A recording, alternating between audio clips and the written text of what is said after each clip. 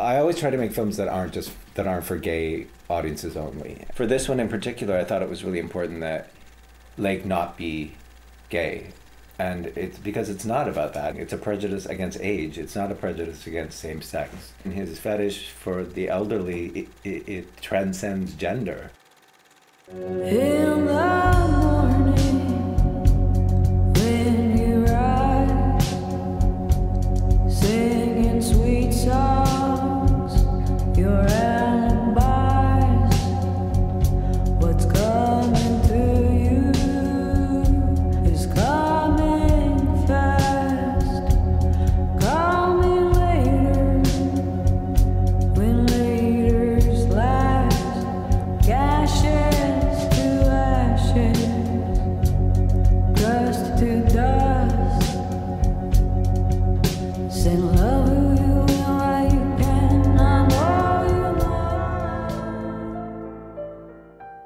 For me, uh, the movie is about making the most of the time that you have, especially with the people that you love. And I think that what's special about this film is that it's going to be about a lot of different things for a lot of different people. Le film est à propos d'une. Dans le fond, c'est une relation entre un jeune et une personne âgée. C'est- C'est une relation euh, très, très proche. is, is a love story. I think there's a, also a social thing about this film. People taking advantage of these old people.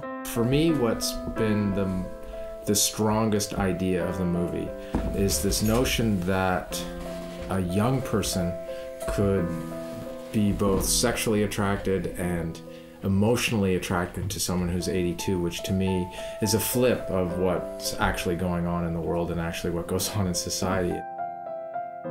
I never like to speculate about the life of, of the film before it's finished. Uh, so all I am interested in is um, making a film that I uh, love. Working with Bruce, uh, what is very apparent is that Bruce has made a lot of movies, and directors that have made a lot of films uh, get very good at, at, at knowing what they want, but also being open to other people's uh, input and ideas or the best of it. He doesn't in, he doesn't in, inflict himself upon you. He just guides you. Bruce is amazing to work with. He's very straightforward. You never have to guess what he thinks. Um, he's very calm. He sort of keeps to himself as a director. Like he doesn't give you tons of direction. I think there might be something wrong with me.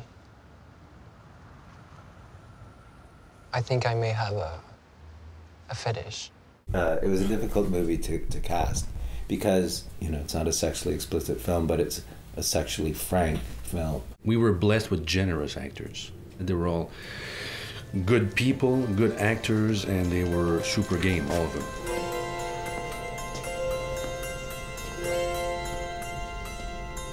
Honestly when we we saw 30 kids the day 30 guys his age the day that we did that casting call and i when when pg walked in before he said a word when he walked in i just was finally like excited like i could feel my legs humming and i could feel my i was going oh my god Pierre is the most wonderful.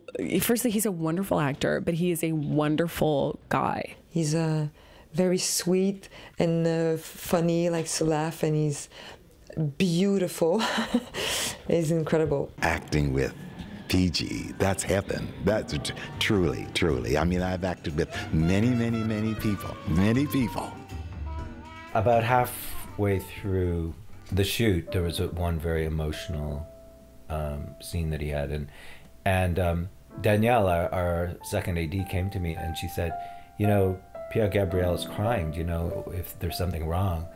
And uh, I said, "Well, I, I just I think he's preparing for the scene."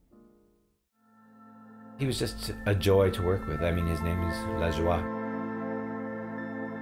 we weren't sure at the beginning whether we were going to find a, a, a, a talented and uh, charismatic older actor so we were really super happy that we ended up with walter we did consider looking for kind of you know um, stars for the main role, and we did um, we did pursue some. But my concern was always that would uh, a star, particularly of a certain age, have that kind of candor and be willing to just put it all out there. And Walter is a star in his own right. I mean, he's he's a star, Canadian star of stage.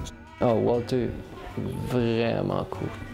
Vraiment cool. Tu sais, me- je sais pas si avec quelqu'un d'autre, ça aurait fait euh, la même chimie. Si avec quelqu'un d'autre, j'aurais été autant confortable parce que avec son attitude, euh, tu sais, toujours souriant, très compréhensif. J'aurais pensé que ça aurait été un peu plus difficile.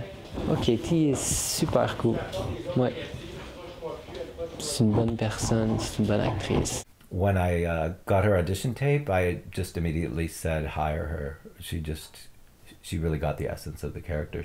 And what I wanted to tell you was I think that what you are and what you're doing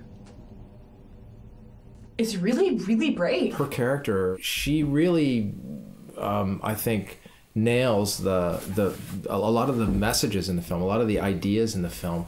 They they come through her, and she she really she really speaks them. And when she finds out that Lake is having this affair with uh, with an older man, a much older man, her reaction isn't to be like a jilted lover or to be jealous, but it's to really um, admire it for what it is. Like in a way, it's a different kind of love. all these ideas that people have about like aging and beauty and what makes somebody desirable like you're going against that He's kind of like a like Gandhi. It's like having Gandhi as a boyfriend. You know, it's like someone you admire so much. You have to let them go on their path and, and help people. You can't be in a selfish relationship with someone like that. okay go go It's an existential statement. The idea that in that old hand, the young hand still exists. Like we're all going to age, and there is so much in our society that, that is all reversed about how we deify the young, when it really is the old who have the vision and the experience, and we lose so much access to that through the layers.